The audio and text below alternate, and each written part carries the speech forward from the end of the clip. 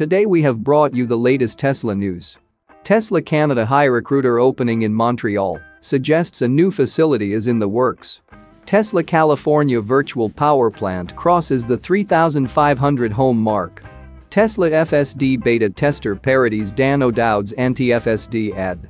And Tesla Model 3 and Y to go stalkless with touch controls on steering wheel.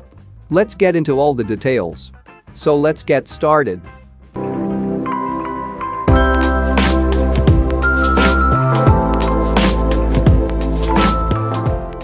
Tesla's careers page has a new job listing, hinting that the electric vehicle maker is hiring a high-volume recruiter for Montreal, Quebec. The job listing has inspired speculations that Tesla may be planning a new Canada facility in the area. Tesla's potential new Canada facility has attracted a lot of interest since Elon Musk responded positively to the idea of a potential gigafactory in the country during the 2022 Cyber Roundup. During the meeting, Musk was discussing future gigafactory sites when the audience suggested Canada as a location. Musk responded with, I'm half Canadian. Maybe I should. While Musk's comments then seemed like they were done in jest, a July lobbyist registration from Tesla suggested that the company may indeed be looking at Canada as a potential factory site. More recent reports revealed that Tesla has seemingly communicated with the Canadian government four times in the last six months. Canada's Science and Economic Development Minister, François Philippe Champagne, reportedly even toured a Tesla site in August. Tesla hasn't confirmed that its next gigafactory would be in Canada. However, the recent job listing on the company's careers page does give the impression that the EV maker may really be building a new Canada facility as noted in observations from the online electric vehicle community, Tesla's job description for a recruiter post in Montreal, Quebec mirrors the wording of high-volume recruiter job listings. Information from Tesla has so far not revealed if the company is actually interested in building a vehicle or battery manufacturing facility in Canada, though the company's filings and job listings do suggest that there's a lot of interest in the country it should be noted, however, that Tesla is no stranger to establishing facilities in Canada, as the company finances lithium-ion battery research in Nova Scotia. The EV maker also owns Hibar Tesla Toronto Automation. Moving to the next update, Tesla California virtual power plant crosses the 3,500 home mark. Tesla's California virtual power plant, VPP, which is comprised of homes equipped with Powerwall batteries, just crossed an important milestone as the system has passed the 3,500 home mark. The findings became evident following the California VPP's second event on August 31, which saw the system provide up to 24 megawatt of power to support the grid. As per an active tracker of the California VPP on Lastbulb, there are now 2,793 homes that are part of the PG&E grid and 743 homes that are part of the SoCal Edison grid. This makes a total of 3,536 homes equipped with Tesla Powerwall batteries that are ready to help keep the grid stable amidst the ongoing heat wave in the state. The growth of Tesla's California VPP is quite impressive. Lastbulb's tracker showed 2,149 homes in early August. That was already impressive, as it showed that the system had grown 12.3% in 20 days. Considering that there are now over 3,500 homes in the California virtual power plant, it would appear that more homeowners are becoming more willing to share their Powerwall's energy with the grid. Part of this could be the fact that participating in the California VPP is pretty much effortless, with some Powerwall owners noting on social media that taking part in a virtual power plant involves just going about one's day as usual. Tesla's California virtual power plant beta also offers $2 per kilowatt hours for homeowners who participate in the VPP, which means that Powerwall owners could receive an estimated $10 to $60 every VPP event. It should be noted that the California virtual power plant is still in beta for now. But considering its successful events so far, it would not be surprising if Tesla scales the program faster in the near future. A VPP is a perfect way to provide clean backup energy to the grid in a state like California, after all, considering the prevalence of solar solutions in the state.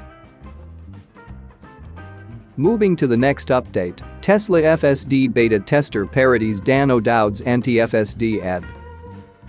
A Tesla Model 3 owner and FSD beta tester has filmed a parody of Dan O'Dowd and the Dawn Project's debunked anti-FSD ad, which claims that the advanced driver assist system will indiscriminately mow down children.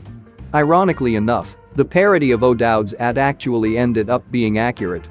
Tesla owner John Harrity has been part of the FSD beta program since October 2021.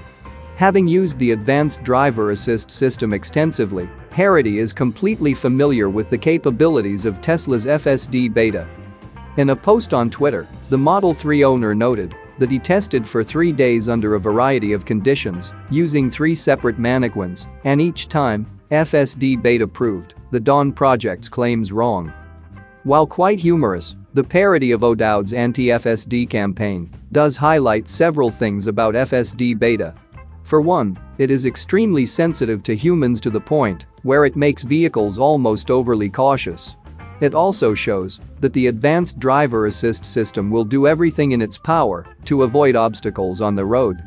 Elon Musk has responded to the parody ad, noting that FSD version 10.69.1 would be even better. So far, however, version 10.69.1 has received polarizing reactions from FSD beta testers.